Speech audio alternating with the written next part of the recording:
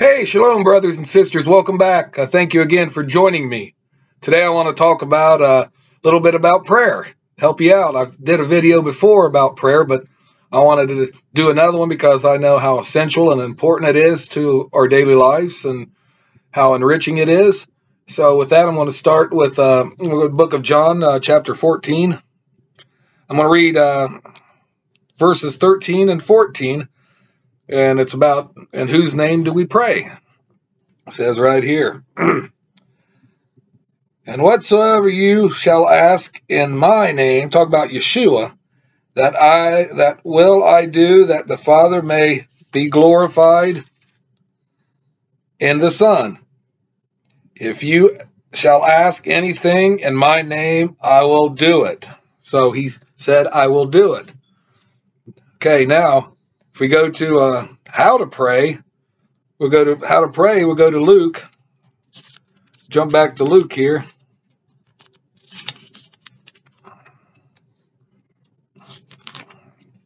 And it'd be uh, Luke chapter uh, 18. One page. And I'm going to go to verse 1 right here. Uh, and he spoke a parable unto them to this end that men ought always to pray and not faint. Should always pray and not faint. Just remember that.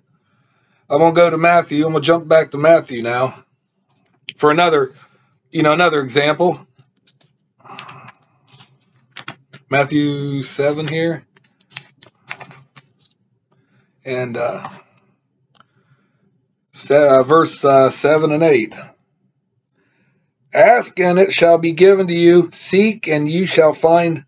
Knock and it shall be opened unto you. For everyone that asks receives, and he that see, see, uh, seeks finds, and to him that knocks it shall be opened.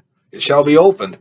And if you want some more uh, biblical uh, uh verse, uh, verses and everything, if you look at Ephesians uh, chapter 6, 18, Matthew 26, 41, and First uh, Peter four to four verses seven, uh, that show you more scriptures about how to pray.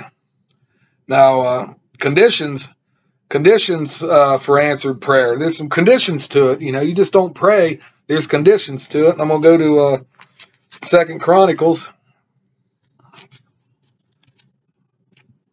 Find Second Chronicles here real quick.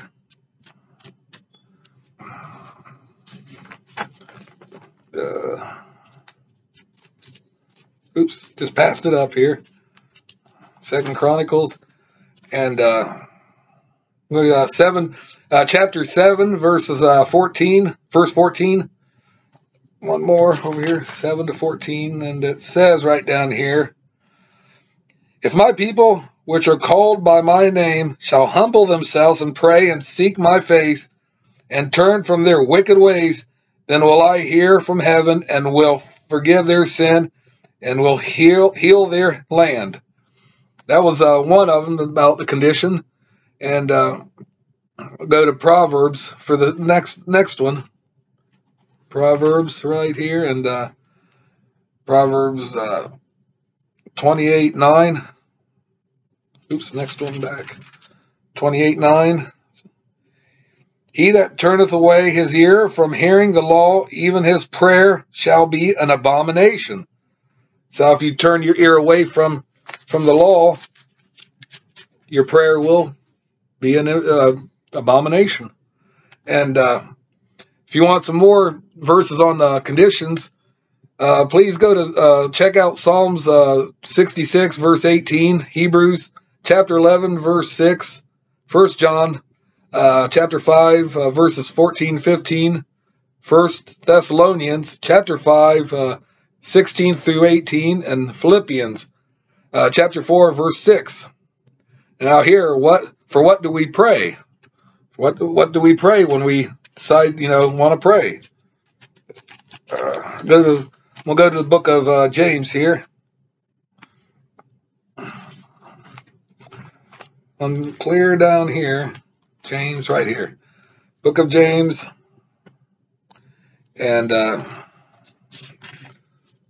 chapter 1. We'll start with uh, verse 5 here.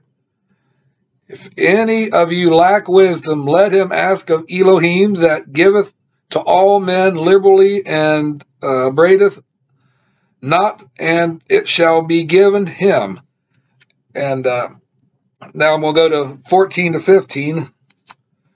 But every man is tempted when he is drawn away of his own lust and enticed.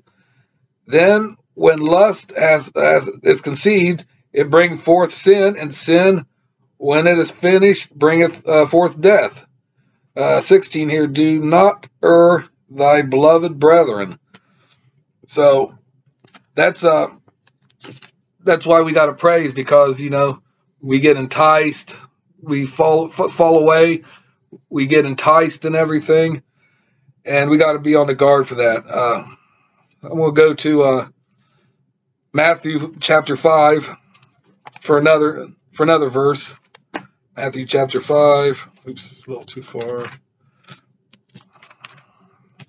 Matthew chapter 5, 44. And, uh, yeah, verse 44 here. And it says, But I say unto you, love your enemies, bless them, and curse, and them that curse you, do good unto them that hate you, and pray for them which despitefully use you and persecute you. So our enemies, even though they're our enemies, we need to pray for them. You know, what better what better sportsmanship is that? Somebody hates you and they want to see you tortured, misery, death, and everything else. But as we, us, we're better than that. We want to pray for their well being in every way. We want to see them spiritually, you know, better and their health continues. You know, it's kind of hard, but we do that and you put a smile on Yahweh's face. He'll say, he'll see who the better person is. Oh, excuse me. And uh, if you want a couple more verses, go to Matthew uh, uh, 6, uh, verse 13, and 1 John uh, 1, verse 9. And here it says, Yahweh is able to answer prayers. And uh, I'm going to go to uh, Hebrews. jump clear back to the book of Hebrews. Let's see. There it is. Hebrews and uh, 7, 7 verse 25. 7 and uh, 25 says right here, Wherefore he is able also to save them to the uttermost that come unto Elohim by him, seeing he ever liveth to make intercession for them. So intercession he's interceding and he's on our side. You know, we're like petitioning a prayer to Yahweh, but uh, Yeshua is interceding for us. He's helping us out, and we pray. And like I said, we pray in His name, and that's that's how the prayers, you know, the prayers get answered. Now I'm gonna go to Ephesians. I'm gonna jump to the book uh book of Ephesians. Ephesians, yeah, I got Ephesians right here, and it's uh, it's chapter 3, verse 20. Chapter 3, verse 20. And it states right here, Now unto him that is able to do exceeding abundantly above all that we ask or think, according to the power that worketh in us. So basically, it's just like everything else. It's talking about how prayers are being, uh, you know, answered prayers. That's what it is. And if you want more on that, uh, go to Philippians chapter 4, verse 19, and Jeremiah 29, 12. See what they say. Get your Bible out and look these verses up. You know, I, I encourage you to. And, uh, and Yeshua, he did pray, pray for you and me. And you can find that in John. John, uh, I'm to go to the book of John here.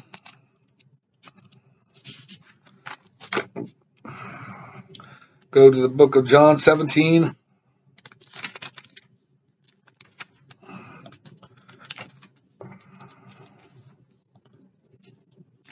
17. Let's go back one page here. 17, 1. Uh, we'll go to verse 1 through 3 here. These words spoke Yeshua and lifted up his eyes to heaven and said, Father, the hour come is come, glorify thy Son, that thy Son also may glorify thee. And thou hast given him power over all flesh, that he should make eternal life to an, uh, as many as uh, thou hast given him. And this is life eternal, thus they might know thee, the only true Elohim, and Yeshua Messiah, whom thou hast sent. So, and uh, you know, Yeshua prayed. You know, there's there's other verses in here in the Gospels where you know he prayed for his disciples. He prayed for you know thy will be done. Things you know different things. But it was never selfish prayer, you know, and that's what we shouldn't do selfish prayer. We shouldn't want to say we want to pray to hit the lottery. We pray uh, and the next door neighbor falls and breaks his leg. You know, nothing like that. But um, but according, if you want to look, the last prayer, the last prayer in the Bible, if you want to look that up, there's the last prayer in the Bible, and you can look up Revelations 22, 20. Look that up. But that is the last prayer. That's just a fun fact. I, wanted to give you a little fun fact of the last prayer, and uh, and please, like I said, uh, look back on my other video about prayer too, uh, how to pray, uh, be enlightening to you and beneficial. And that's all I want to say about that. I thank you again for joining me, and uh, please give me a, a, big thumbs up and hit that notification bell, and also subscribe. I'll appreciate that. Until we meet again, friends. Peace out and uh, shalom.